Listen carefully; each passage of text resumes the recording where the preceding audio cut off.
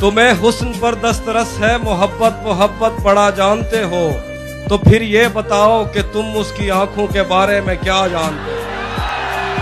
ये जोग्राफिया फलसफा psychology science रियाजी वगैरह। वाह सब जानना भी अहम है मगर उसके घर का पता जानना। क्या कहने क्या कहने?